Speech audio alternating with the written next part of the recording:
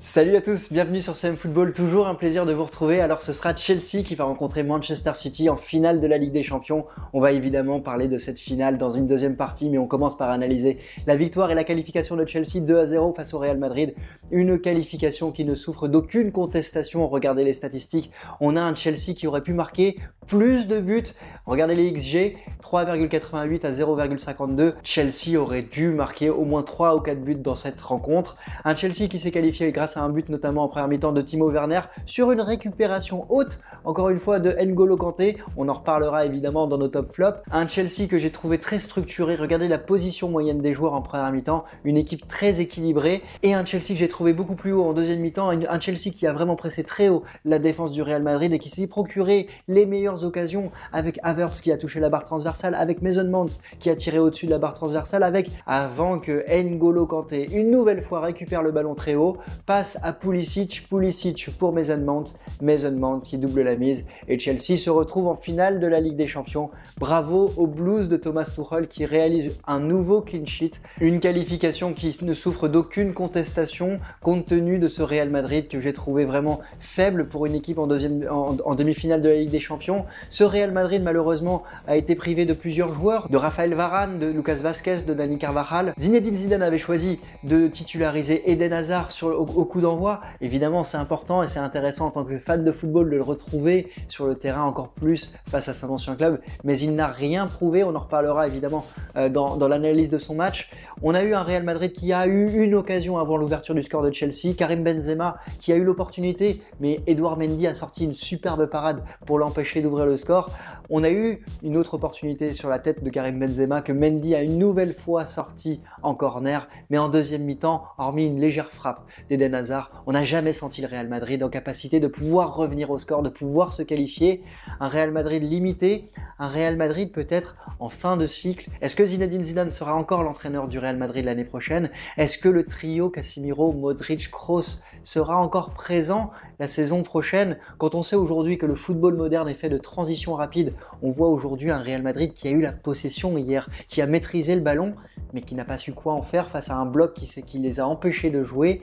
Et ça, ça va être intéressant à étudier dans une prochaine vidéo. On reviendra là-dessus, sur cette situation d'échec du Real Madrid. Mais d'abord, il y a la Liga à aller chercher et il y a quatre matchs pour permettre peut-être au Real Madrid de sauver sa saison et d'aller chercher un titre. Alors on va passer au top flop.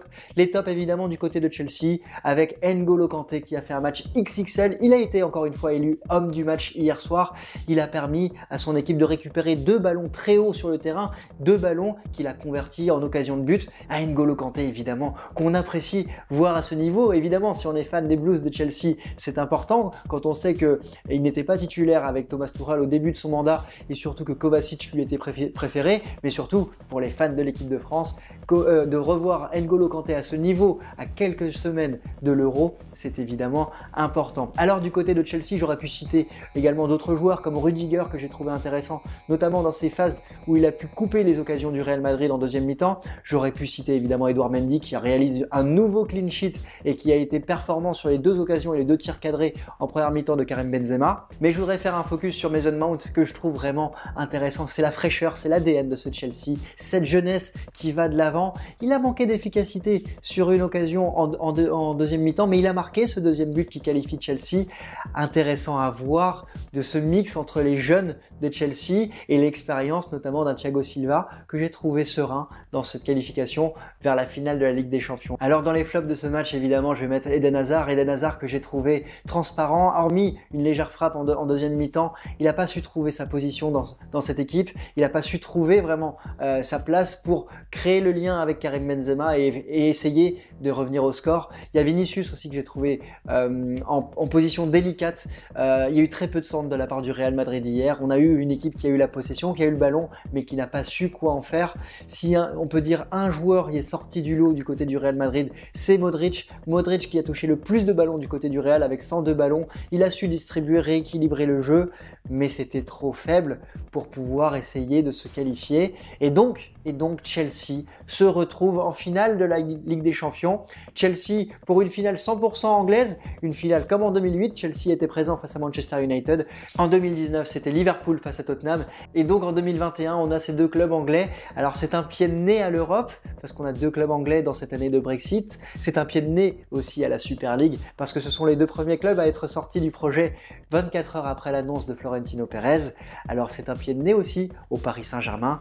On n'en parlera pas trop dans cette vidéo, mais évidemment de revoir Thomas Tuchel, l'ex-entraîneur du Paris Saint-Germain, en finale pour une deuxième année consécutive, de revoir Thiago Silva, l'ex-capitaine du Paris Saint-Germain, en finale euh, avec Chelsea un an plus tard. Évidemment, c'est un pied de nez à Leonardo qui les a, comme a dit Thiago Silva, littéralement dégagés en fin de saison dernière. Alors, cette finale, évidemment, c'est la finale de deux tacticiens qui aiment la Ligue des Champions. On a dit, euh, Thomas Tuchel va être le premier entraîneur de l'histoire à disputer deux finales de Ligue des Champions consécutivement avec deux clubs différents, mais c'est aussi Pep Guardiola. Pep Guardiola qui va disputer sa troisième finale de Ligue des Champions. Il a remporté les deux premières avec le Barça en 2009, en 2011 et maintenant, on verra ce qu'il va donner en 2021. Ce sont également deux équipes qui sont assez similaires, qui sont adeptes du pressing, du contre-pressing, de, de, phase d'intensité. Deux équipes qui aiment avoir la possibilité de créer des actions euh, dans, dans des faibles espaces.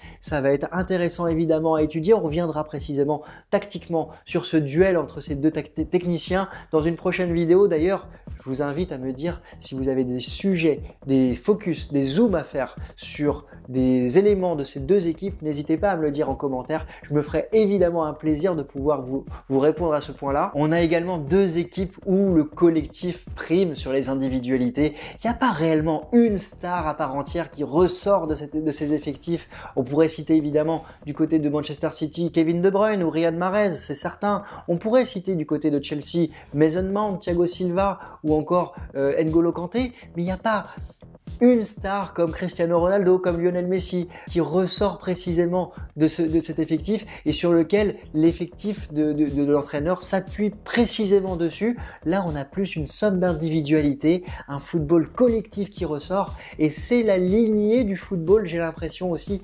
depuis la Coupe du Monde 2014 avec cette équipe d'Allemagne qui avait été championne du monde sans réellement star, depuis également euh, la Coupe du Monde 2018 avec cette équipe de France où il n'y a pas une individualité qui ressortait précisément on a des collectifs aujourd'hui qui ressortent et ça c'est aussi un élément intéressant à analyser. Deux équipes qui font preuve de beaucoup de mouvement, beaucoup d'intensité et deux équipes qui se sont déjà rencontrées en 2021 deux fois. La première fois c'était Chelsea qui, avait, perdu face à Manchester City en première ligue avec une victoire des Citizens 3 buts à 1 avec notamment une des Citizens qui avait réalisé un excellent début de match face à l'équipe de Frank Lampard à l'époque en menant 3 à 0 dans la première demi-heure. Deux équipes qui se sont encore rencontré en FA Cup récemment avec Chelsea de Thomas Tuchel qui s'était qualifié grâce à un but d'Akim Ziyech et Chelsea qui va encore rencontrer Manchester City. C'est ce week-end, c'est samedi à 18h30 pour peut-être permettre à Manchester City de devenir champion d'Angleterre